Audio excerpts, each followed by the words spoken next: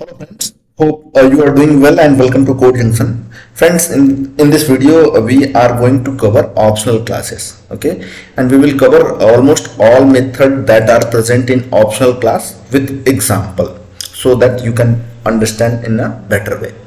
So let uh, first understand what is optional class and why it is introduced in Java 8. So optional class, uh, it is uh, introduced in Java 8 means JDK 8 it is a final public final class and used to deal with null pointer exception and avoid null checks in Java application. So before optional classes, to uh, to uh, deal null pointer exception, we have to check, uh, we have to add multiple null checks. Okay, so it's just avoid null checks and uh, move on some important methods of uh, optional classes. First method is empty to create a empty optional instance we use empty method. So I have created optional class with main method. So I want to use empty method. Empty so optional I will take string as a parameter.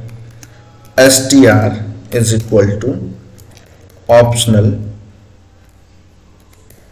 dot empty method. Dot empty method. It should be optional. And just print out its value by sysout. Sysout str so you will get result as a optional dot empty optional dot empty. So optional is uh, like a box and the value present inside this box. So optional dot empty is to create an empty instance of optional class. Let's move on second method and that is of method. Of t value. T is a gen generic type. We can pass, pass any value. Uh, return an optional with a specified present non null value so I just want to create uh, optional with some non nullable value. In this case I will use of method. So I will take optional str1 optional dot of and I am going to pass here uh, as a string. First string so uh, once I have to get the value from this str1 means optional string so I will use get method. Sysout str1 dot get. If I print only str I will uh, also get the result but it is uh, the value is inside optional. So let's run this program and see the result. Here is the first result first line result and this one is a second line second line result. So once you are going to print str1 it's it will print with optional bracket its value. But once we get its value then we will get actual value. That is first state str the main condition of this of method is that the value that is present inside this of method should be not nullable if I will pass null value inside this method in this case I will get null pointer exception. Thread uh, exception thread main java dot dot null pointer exception.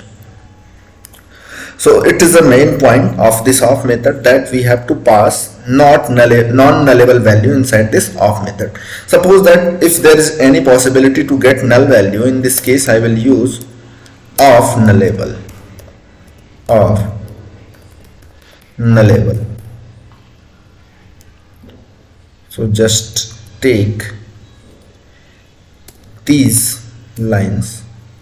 Change this str1 to str2 str2 and again write its value first string. Suppose that now I am passing null value inside of nullable method okay of nullable so here is of nullable method. It is also uh, take generic generic type value return an optional describing the specified value if non null otherwise return an empty optional so once I pass null value inside this of method we will get exception. But if I pass null value inside this of nullable method we will not get any kind of exception. So it's return optional dot empty. So when there is a chance of null value just use of nullable otherwise otherwise use of method. Now move to the third method uh, next method that is get method. Get I told you that it's uh, get the actual value. If there is no uh, value present then we will uh, get no such element exception. Suppose that I am passing null value to this of nullable method and just want to access its actual value by get method. In this case there is no value present so I will get no such element exception no such element exception. Next method is if present. So basically it's check. It's check that value is present or not. So suppose that I am taking this this as example str dot to and I am talking about method if present. str dot to if present. If the uh, value is present inside this str uh, variable then uh, I will consume its value. Str2 is present then I am going to print its value. System dot out dot print ln and its value is st so if value is present then it's print its value. Otherwise it's do nothing. So just save the uh, this program and run. You can see that as str2 value is currently null. So it's checking that if present but value is not present. So this consumer is not going to be called. But if there is any value as like hi hi then we are going to see result hi hi. That is hi hi. Because it's checking if value is present then it's called uh, the consumer inside it's now moving to the next method and it is is present. So suppose that if I want to add any condition that the uh, value is present uh, or not it's basically return true or false. On the basis of this result we can do the required action. Suppose that I want to print this str again if its value is present otherwise I will ignore.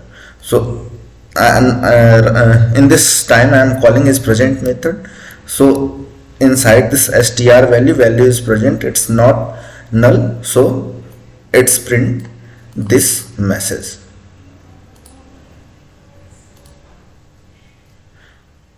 sorry. Is present. Is present str2 so it's printing optional. Hi hi if its value is not present then it's going to ignore and if block will be not executed. You can see that there is no result now friends moving to the next method and it is it is or else method. Suppose that there is a optional string str2 if its value just mention here that or else or else if its value is present or else we will pass any default value default value. And just put this code inside sysout.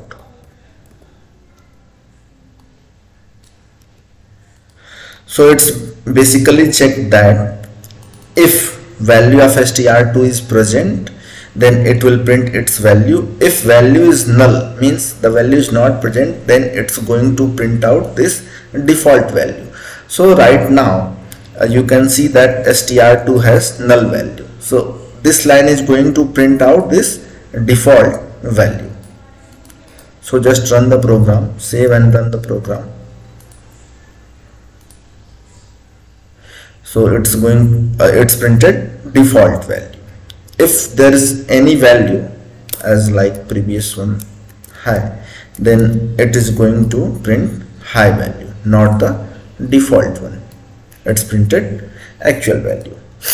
In the same way next method is or else get. Or else get uh, inside this method basically there is a supplier. So instead of uh, default method we can uh, use a supplier or else get. So take the same example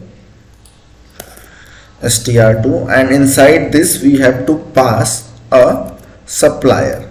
So here get method. Otherwise we will get this error or else get. Inside this there is a supplier so if str value str2 value is present then it will print its actual value. Otherwise it will print this customized value. So currently str2 has a value. So it it, it is going to print this actual value. That is hi. If I pass inside this str value as null then it's going to print the customized value. This is the customized value. So this is the main difference between or else and or else get. Or in or else we will get default value and in or else get we will get customized value. And last method we are going to use or else throw. So or else throw just take the same example for or else throw also. So or else throw.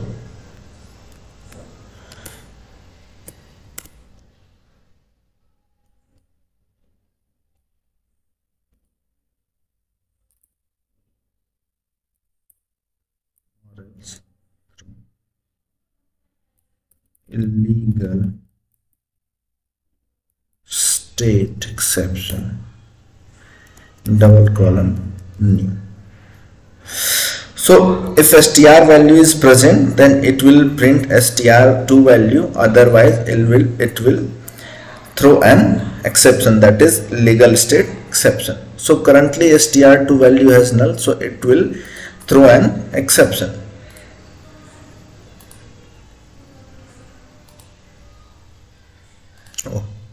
is there any mistake? One two might be. One extra column uh, is added. That's why we are getting error. Just run, uh, again run the program and we will get illegal state exception. If there is value if there is any value that is present inside this str2 method then it's just going to print that value instead of uh, throwing an exception so friends these are all about optional classes. These are important method that i have discussed. Uh, friends meet you in next video. Till bye bye